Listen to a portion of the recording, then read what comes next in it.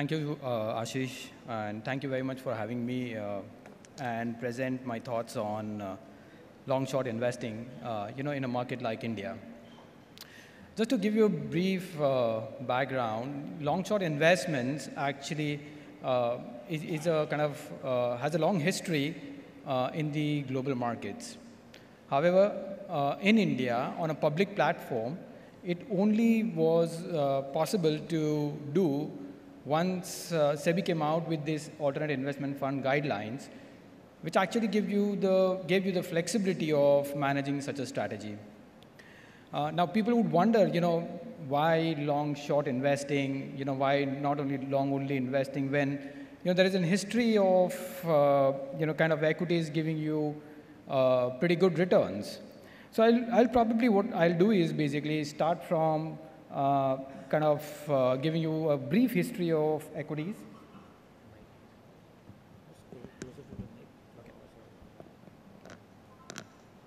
Sure, thanks. So I'll give you a brief history of you know, how the markets uh, have been in these many years. As I'm sure a lot of you or most of you would be aware of, the inherent problem uh, you know, of achieving that kind of returns and which Ashish actually just alluded to as a concept and how do we use the long short strategy to probably uh, mitigate those kind of inherent risks which come into investing into equities. Okay, this is a simple chart, right? A simple chart of uh, kind of showing you how equity has done uh, over a period of from 2000 to 2000 and probably 2020. Now, if you see uh, Nifty, Nifty TRI, actually has been uh, delivering about 12% CAGR return, uh, you know, in these 20 years. Now, 12% return actually by no stretch of imagination is a low number. It's a very good number. So if somebody would have invested right from 2000 to 2020, would have made some decent money. However, the problem is basically that uh, how many people would be there to actually start their investment and have the patience to hold on to this kind of long-term investing. What you also need to understand is basically that while the 12 number, 12% number, you know, looks pretty fancy, uh, uh, as I said, the risks associated with it uh, are also very equally important to be understood. And then comes, as I said, uh, you know, while equity return has been 12%, these are the periods where you generally would see that kind of big drawdowns, which generally shake the market confidence, shake an investor's confidence to probably invest into an equity class. So if you see from kind of 2000, we started off with the kind of dot-com bubble. Then it went to probably the GFC, uh, which is about 2008 and 2009. Uh, then you had China currency problem. And lately, it was a valuation on a long-term capital gain problem. Now, just to kind of combine this with investors' behavior, okay? I'll just give you one example. In 2007, right when the market was at peak, you saw investors putting in maximum amount of money into equities through mutual funds, okay? And I'm not saying that they might not have that kind of vision to hold on for a long period of time, but when the markets are good, they're going good, you will see maximum amount coming in those kind of periods. And in 2008 and 9, equally, you saw maximum amount of redemptions happening as well. So what essentially I'm trying to say is basically people come in at the peaks and redeem at the bottoms, right? Again, not that uh, I would question the wisdom of an investor, but what I'm saying is basically they get too clouded or uh, kind of over, overbeared with the kind of negative news in the short term, right? Thereby not being able to ride the whole kind of uh, movement, which actually is in the earlier slide, which I saw at 12% CAGR. So effectively what it means is basically, yes, equities give you fabulous returns, but because of the investor behavior and behavior psychology, you generally don't see uh, people sticking to that as asset class for a very long period of time purely because of these kind of drawdowns, big drawdowns which you have. How do we address that? Um, I know it's, it's, it's pretty tough actually to go and be a brave heart in probably in a turbulent market. as, as, as today as well, I mean, when the market's around about 1200, 1300 points on Sensex or probably 400 points on Nifty, uh, it's extremely tough to kind of hold on to your investments. It's good to tell that, hey guys, uh, five years, great period, but when the mark to market hits by 15% down or 20% down, it starts to hit the portfolio or pinch the portfolio. And, you know, and at that point in time, we make some irrational decisions as well. So uh, as I said, how do we solve for these kind of uh, risks which are there? Now, uh, long short uh, strategy is one of those kind of strategic tools uh, which you can use to probably mitigate those kind of risks. Now, how do we do that? Is just, I'll give you some kind of very naive or a very basic example in this. When you are completely long in a portfolio or you are completely, you are, you are going on buying and keeping and holding the portfolio for a long period of time, you would be uh, subject to the vagaries of your market. And that's, that's pretty much normal. However, when you have a portfolio of both long positions and short positions, what effectively it happens is basically, irrespective of where the market goes, the volatility into the returns which you make is decreased dramatically. Now, again, it is too much of jargon and technical language, but let me give a very basic example. If I have purchased a stock A at 100 rupees, and I've sold a stock B at 200 rupees, if the market goes up by, say, about 5%, my stock A, because of my superior stock selection, would probably go to 107. Uh, on my stock B, because of my, again, good selection of short ideas, will also go up by, say, about 4%, uh, which is 207 or 208. Okay? What effectively I'm saying is basically, if you add both the gains on the long positions and the losses on the short positions, you still will keep on making some money. Similarly, if the market comes down, what effectively happens is basically my stock A, which is at 100 rupees, goes down to 95 or 96, whereas my stock B, which is at 200 rupees, goes down even further purely because I am shorting those kind of names which have broken business model uh, and, and fundamentally not good companies. So again, there in the markets, when it comes down, tries to make some amount of money as well.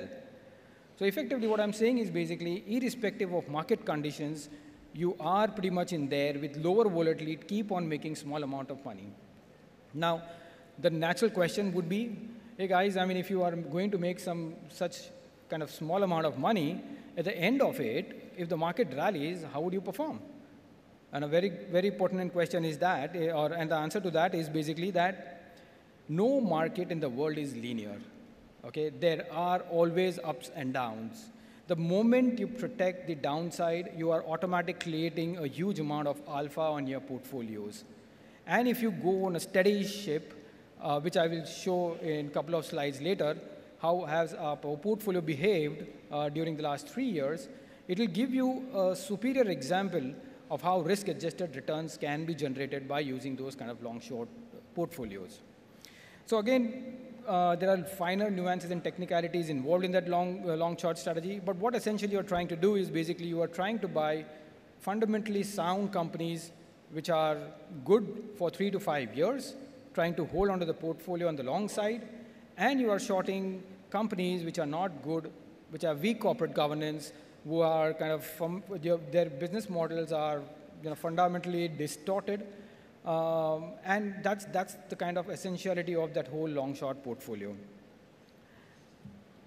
Now let me also kind of take you through uh, this kind of simple chart where what I'm trying to say is basically along the kind of risk return curve, right? Uh, how does long short strategies actually, you know, are placed? Now, on the x-axis is basically your risk, and a risk is measured, according to us, because, uh, you know, through standard deviation or volatility. What is the kind of volatility you are uh, generating to make that kind of returns? Okay, and your y-axis is the returns. So a normal risk return curve where uh, low, low risk, low return liquid funds would probably be very low risk and gives you low returns to a high risk, high return equity diversified and probably sector funds where the volatility is pretty high but the potential of returns also to make is pretty high. uh, along the curve, there are, from liquid funds, there are short-term funds and then duration products, because duration products will have some higher volatility purely because of the interest rate risks. Uh, what essentially we are trying to do with, with that long short is basically, you try to generate returns which are kind of low on volatility, low on risks. And that's why if you see AARF, if you see, which is our absolute return fund, is a product which generates consistent returns with very low volatility, which is pro probably a debt plus kind of volatility. And just to give you some numbers, an income fund or a duration product would give you uh, returns with a volatility of, an historical volatility of about 5 to 6%. Absolute return fund has generated those kind of gross returns or more uh, with a volatility of about 3% in the last three years, when your Nifty volatility is about 15%. So essentially what you're saying is basically you are trying to generate those kind of returns with volatility or risks, which is one-fifth. And that's why what I mean by risk-adjusted returns, where you optimize your return for every unit of risk you take uh, you know, uh, in the markets.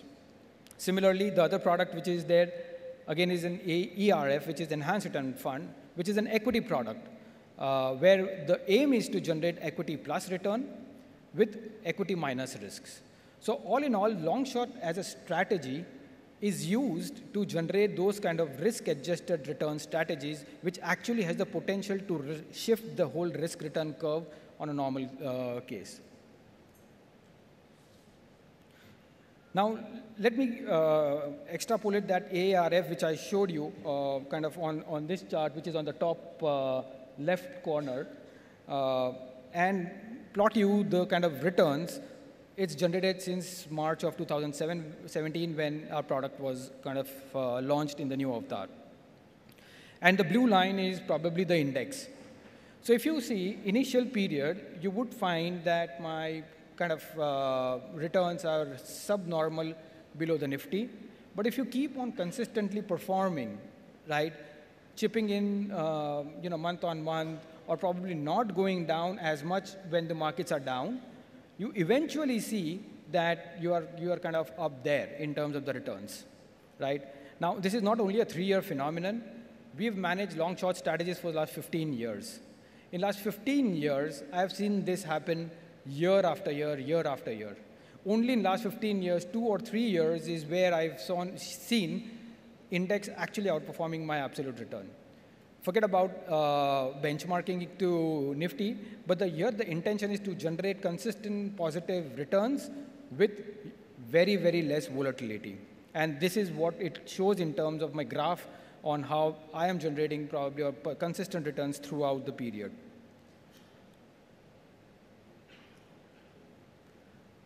Okay, now also let me uh, run through this kind of brief or broad economic or uh, ecosystem for long-short funds in India. As I mentioned to you earlier that uh, alternate investment funds actually came up only in 2012 when SEBI came out with this whole forward-looking guidance. Uh, and from then, we were the ones in our earlier organization to launch one of the first long-short products into India. Uh, having said that, we have been actually managing the long-short strategy on a proprietary desk since 2005-6. So till 2012, there was no ecosystem, and from 2012-13 is when the, these uh, guidelines came, and thereby we effectively we could have launched. Secondly, uh, from a global perspective, long-short funds are pretty much prevalent. And just to give you some brief statistics is basically globally, the long-short funds are close to about $3.5 trillion, uh, which is close to about 5% of the total assets uh, in, in, in the globe. Uh, and all those kind of uh, survive on, on uh, you know, on, on having that ecosystem where they can actually borrow stocks and probably short into the markets, right?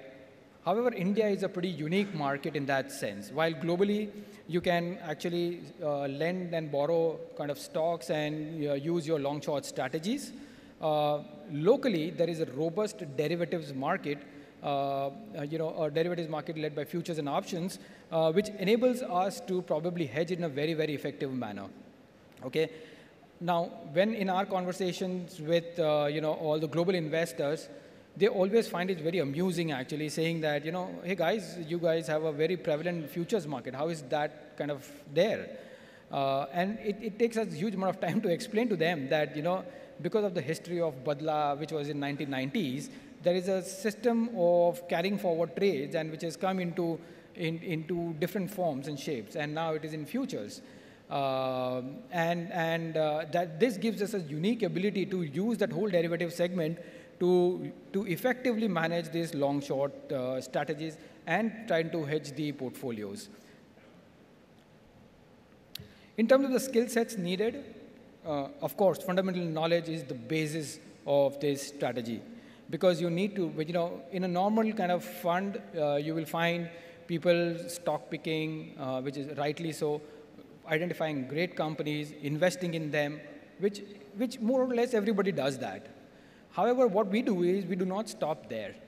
What we also do is basically try to find out which are the very weak companies as well, where the business models are broken, uh, which are most vulnerable, uh, you know, in a weaker economic scenario or markets, or where the regulations are kind of, you know, affecting them, and so on and so forth. Because we do not only stop at identifying long positions or uh, investments, long-only investments, we, we extend that argument to the short investments as well.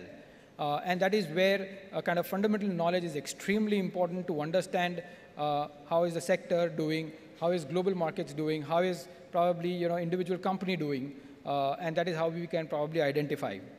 At the same time, what I would suggest is basically fundamentals is not the only thing as well, because uh, you know, apart from, you know, you, you can have a stock which is highly valued at 50 times, and that 50 times can kind of be highly valued or maybe go to 60 times uh, for the next five or 10 years. And you, if, you, if, if you identify that as a stock citing expensive valuations, you would have got killed.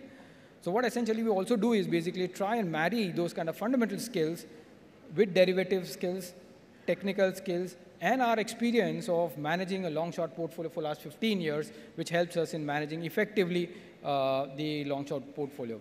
And, and trust me, it is, it is pretty much tricky to kind of manage uh, the both sides of the portfolio in different market conditions. Now, what does this all do in terms of your asset allocation, uh, you know, needs uh, into your portfolio? What, what, how does this help? Uh, we do think that, you know, it's a strong case, uh, and a long, long short portfolio is a strong case to actually have it in the portfolio, primarily because it gives you hugely uncorrelated returns. So whenever there is a huge amount of market turbulence, this is a segment which will probably steady your ship, right? Uh, this is a segment which will not kind of deteriorate rapidly, though yes, because of the market conditions, you would be kind of uh, up and down very marginally, but you will not find uh, those kind of uh, portfolios, uh, you know, going down as much as the market uh, or giving you that kind of heartache. So effectively, this is a great product or a great strategy to actually try and uh, generate uncorrelated returns. It balances the whole portfolio returns and gives you diversification into the portfolio. So that's, that's about kind of, you know, what I wanted to talk to you about, uh, you know, long short strategies.